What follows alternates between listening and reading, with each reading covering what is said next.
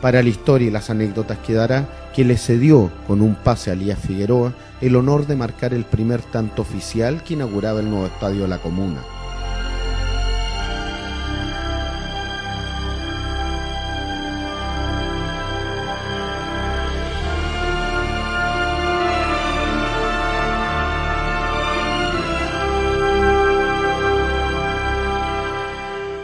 Igual es un orgullo para nosotros, es un honor más que nada, porque